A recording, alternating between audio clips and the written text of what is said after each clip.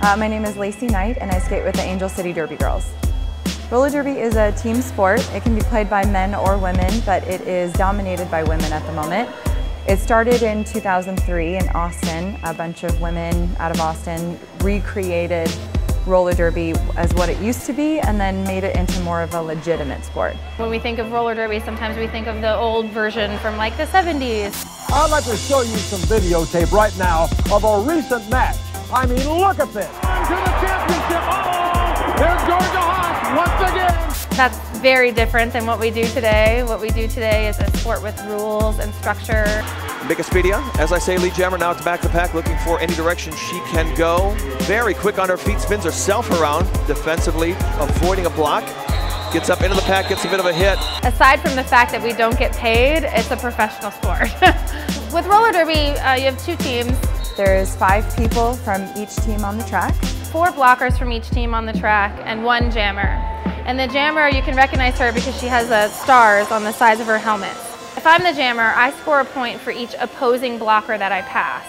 So it's a points-based game where there's offense and defense happening at the same time.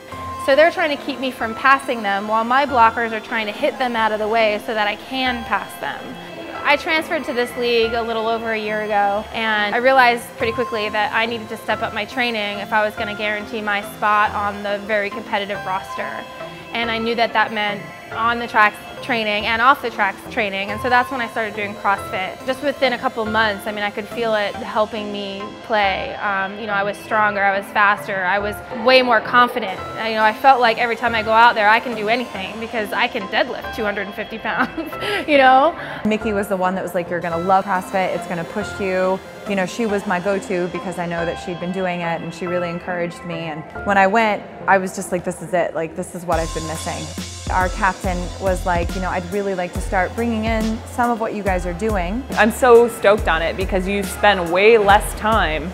You're using your time more efficiently to get bigger results. With Laci especially, because she runs a lot of our off-skates training, she's really started to incorporate the CrossFit workouts uh, for our team. I try to bring in what I'm doing from my, my box, you know, and bring in things that I thought were really hard or maybe something that I know we need to work on. I've been coaching and training and leading people in workouts and on skates for a long time, so it feels very natural to me. We do our workouts here at the warehouse. We kind of makeshifted our own little CrossFit gym over here. And we have very limited equipment because it's all donation and what people want to bring in. I brought in a few sets of dumbbells. You know, my husband made a box for box jumps. We got a barbell from someone, not sure where that came from. It brings in this element of positivity and competitiveness that I don't think we had before.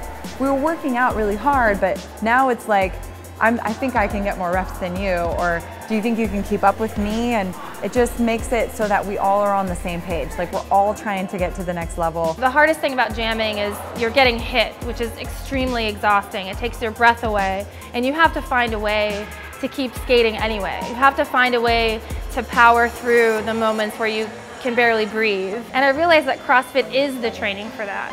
Because most CrossFit WODs, you know, you'll do one exercise followed by another, followed by another, and you have to learn how to make one of those movements your rest period.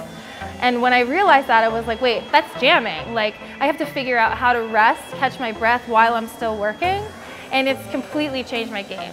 The biggest improvements I've seen on the track are the sheer strength of our girls and endurance.